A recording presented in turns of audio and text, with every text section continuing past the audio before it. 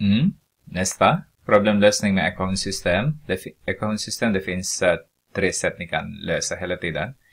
Uh, en är grafisk. Två egentligen. Och sen vi kallar den algebraisk.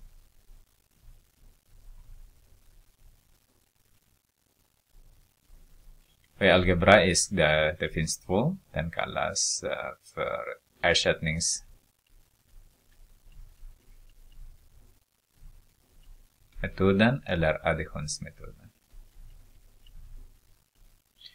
Och då kan ni använda vad ni vill så länge de säger ingen, ingenting hur ni löser den så ni får använda vad ni vill. Okej? Okay? Ska vi prova. Summan av två tal är 74. Differensen av talen är 12.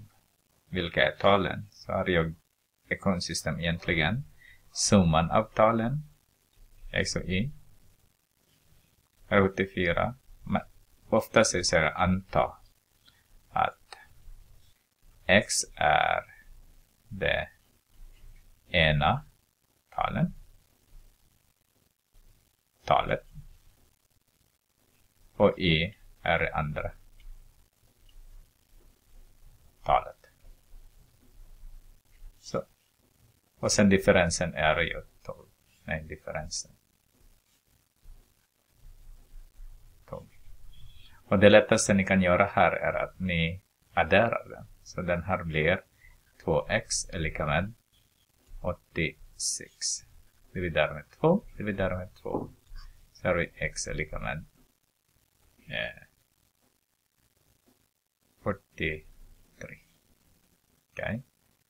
Sen har vi differensen är ju 12. Så 43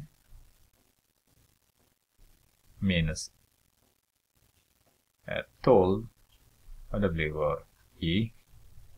Därför är det differensen är det ju. Okej. Okay. Så har vi 31 är lika med i. Så det första talet måste vara 43. Och den ena talet är ju x där. Och det andra talet är ju 31. Och tillsammans ska de vara 74. Och så skillnaden är ju